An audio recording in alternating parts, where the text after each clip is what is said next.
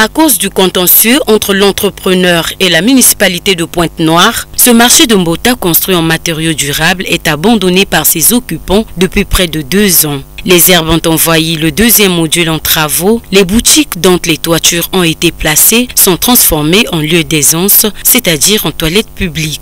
Quant au premier module en finition, il devient un endroit de rendez-vous amoureux. Restés sans suite, les vendeurs sont jusqu'à ce jour dans l'ancien marché de fortune débaptisé marché des personnes de courte taille. Cet ancien marché présente pourtant un grand danger pour les vendeurs et les clients à cause de la vétusté des toitures. L'on se demande quand l'autorité municipale prendra-t-elle ce problème en compte pour venir en aide d'abord aux vendeurs qui ont investi leur argent dans la construction de ce marché moderne.